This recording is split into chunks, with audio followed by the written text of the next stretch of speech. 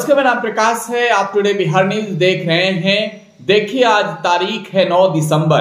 बिहार के उप मुख्यमंत्री तेजस्वी यादव के शादी के पहले सालगिरह की तारीख है आज। यानी आज बिहार के उप मुख्यमंत्री तेजस्वी यादव और उनकी पत्नी रेचल आयरिश और राजश्री यादव के शादी का सालगिरह है। आज ही के दिन दिल्ली में तेजस्वी यादव ने अपने दोस्त राजश्री यादव के साथ शादी रचा ली थी। राजश्री रेचल आयरिस का ही नाम है और इनाम तब पड़ा जब रेचल लालू परिवार की छोटी बहू बनी।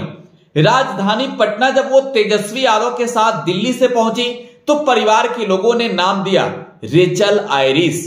आज बात तेजस्वी और राजश्री के रिश्तों की करेंगे और इन सब के बीच कैसे लालू परिवार की छोटी बहू लालू परिवार के लिए, तेजस्वी यादव के लिए यह कह सकते हैं कि शुभ साबित हुई।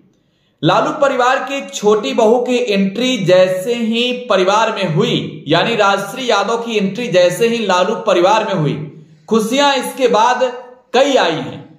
लालू प्रसाद यादव भी जेल से बाहर हैं और इन सबके बीच आप ये भी जान रहे हैं कि तेजस्वी यादव नेता प्रतिपक्ष से बिहार के उप मुख्यमंत्री बन गए हैं।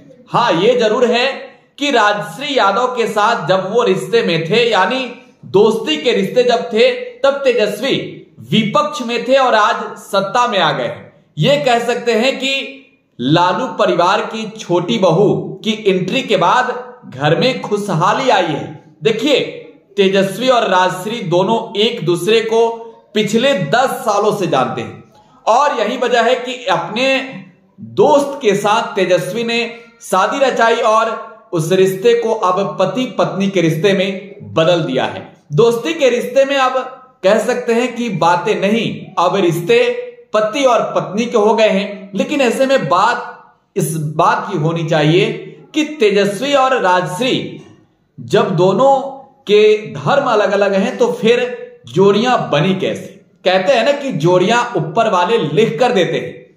जी हाँ तेजस्वी और राजश्री के साथ भी कुछ ऐसा ही हुआ। तेजस्वी यादव, बिहार के उप मुख्यमंत्री उस वक्त नेता प्रतिपक्ष थे। लालू यादव के छोटे बेटे और आप जान रहे हैं कि वो हिंदू धर्म से आते हैं। लेकिन उनकी पत्नी रेचल आयरिस ईसाई धर्म से आती है। ऐसे में रोरा रास्ते में यह आ रहा था कि ईसाई धर्म की बहू को कैसे लालू स्वीकारेंगे। लेकिन लालू प्रसाद यादव के सामने तेजस्वी ने जब यह प्रपोजल रखा तो लालू परिवार ने इस प्रपोजल को स्वीकार किया। तेजस्वी और राजश्री की शादी दिल्ली में बीते 9 दिसंबर को संपन्न हो गई। आज तेजस्वी के शादी का पहला सालगिरह है। बीते एक साल में लालू परिवार में कई खुशियाँ आई हैं और यह कह सकते हैं कि लालू की छोटी बहू, राबड़ी की छोटी बहू घर में खुशियाँ लेकर आई हैं। तेजस्वी उप मुख्यमंत्री बन गए।